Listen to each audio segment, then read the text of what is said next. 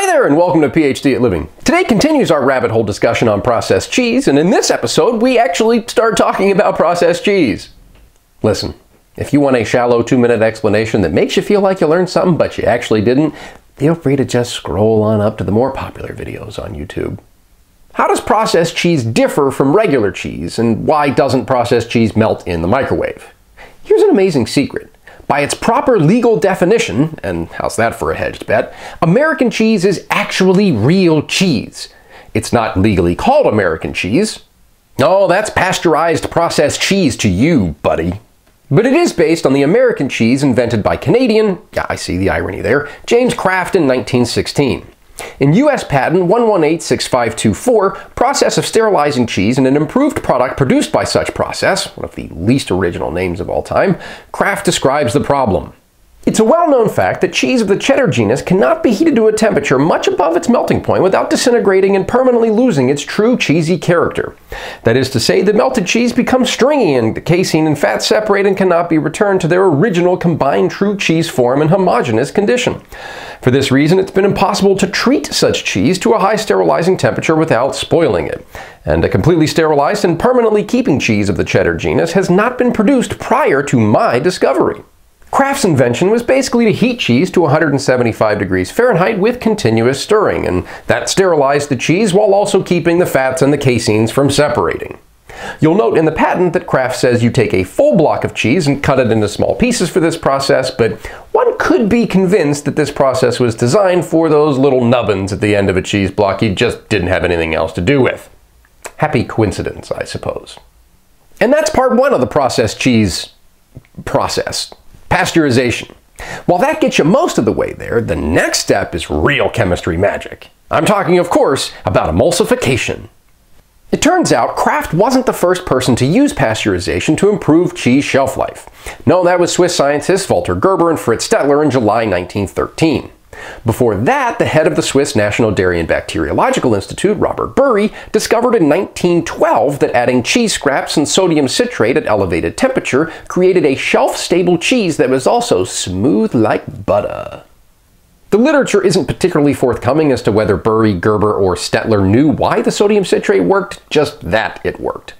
In the US, this process was patented by Phenix cheese scientist George Garstin in 1921. In his US patent 1368624, Garstin used sodium phosphate as the emulsifier. By now, even an idiot should have at least some idea what an emulsifier does, but let's bludgeon it to death in typical PhD at living fashion, huh? Great! An emulsifier is a substance that stabilizes an emulsion. Load of damn good that definition did, huh?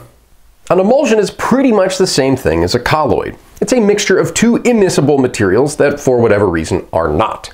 The big difference is a colloid is a mixture of a liquid and a solid, while an emulsion is a mixture of two liquids. So think something like oil and water here.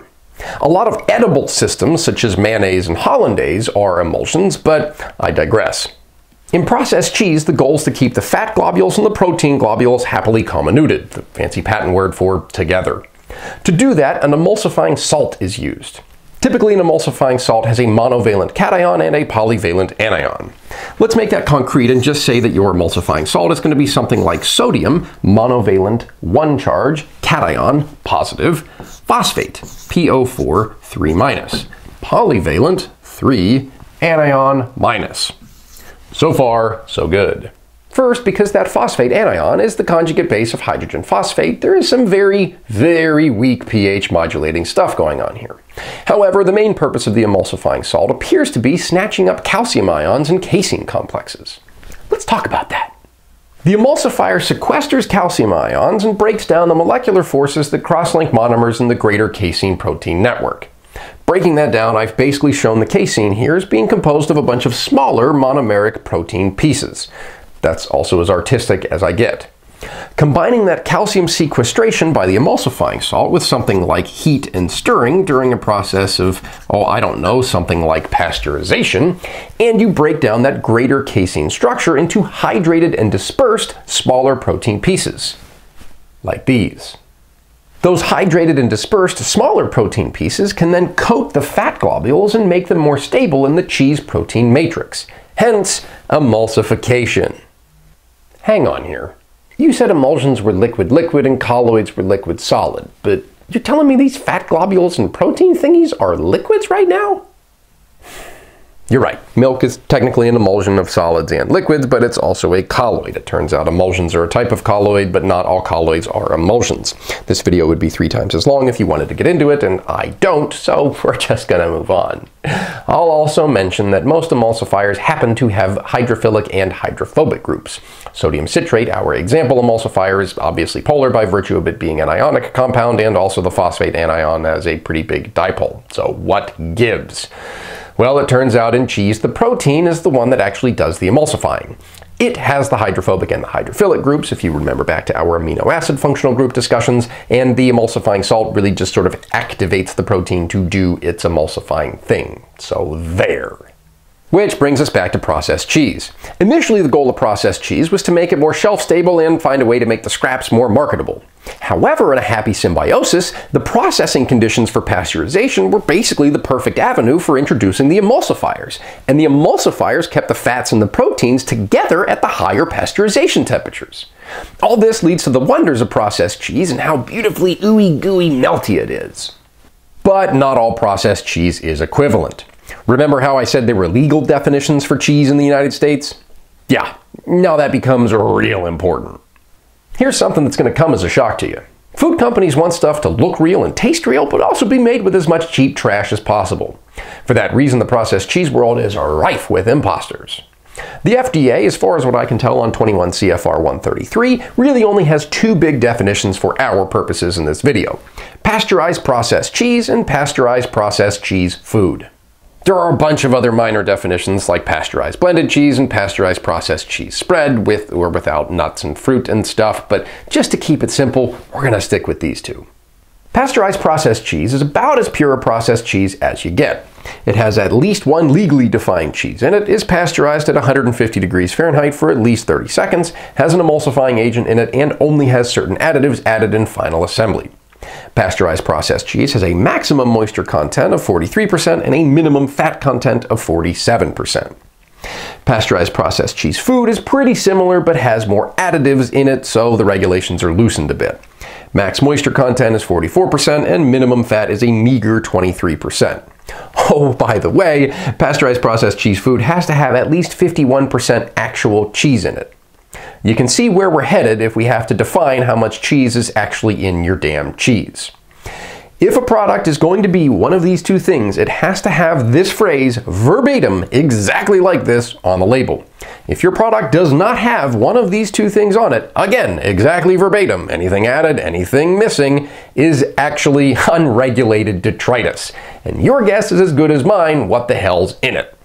I'm not saying just because it has a bunch of fake crap in it that it's harmful or dangerous or it's not healthy or perfectly nutritious for you, but I am definitely saying it isn't real cheese. And now, after two full videos of food chemistry, we've arrived at why some processed cheese slices have a hard time melting in the microwave or in an open flame. The particular cheese slices my buddy was asking me about were imitation pasteurized processed cheese food. You see how deceptive that is? They take the four words that do have a legally defined composition and then just put imitation in the front, and then don't have to legally abide by any of them. Long story short, this is not cheese. The first ingredient is whey. What? Yeah, turns out you can make cheese like stuff from whey, but it can't legally be called cheese because it doesn't come from the curd. Ricotta cheese, for instance, is made almost exclusively from whey, but that's not the point. No, the point is that after our whey, we get into the real fun stuff. Interesterified soybean oil, modified food starch, water, salt, and less than 2% of a bunch of emulsifiers, additives, preservatives, and other. So that likely answers why our fake cheese slices have a hard time melting in the microwave. They're not real cheese. Sure, they've got water and an emulsifier in them, but that's basically where the similarities to real processed cheese stop. But that's not the whole story either. You'll also see videos online of real cheese not melting in an open flame and have claims of some other global conspiracy. But here's what's happening there. Spoiler alert, little bit of science here. It turns out an open flame is a different heating environment than a saucepan on your stove on medium low. Your cheese in the open flame is likely melting. It's just moving so quickly into the burnt, charred, blackenedness stuff phase that you don't really see the melting of it. If you put your cheese slice on your saucepan on wicked high heat, it probably would do the same thing. In total summary, cheese is made from milk. The milk is separated into curds and whey. The curds are colloidal fat and proteins that are chemically altered to make them fully in suspension instead of colloidal. After separation, the cheese is physically processed to drain the whey and make the cheese into its final composition. Processed cheese is real, honest cheese that's pasteurized to make it more shelf stable and has emulsifiers added to make sure that those fats and proteins in the processed cheese stay together during that all critical melting phase. The processed cheese world is rife with many, many imposters, so make for darn sure you're buying actual processed cheese instead of vegetable oil with some yellow food coloring added. And that, friends, brings our two episode discussion on cheese to a close. See you next time. It's the Leaning Tower of Cheese.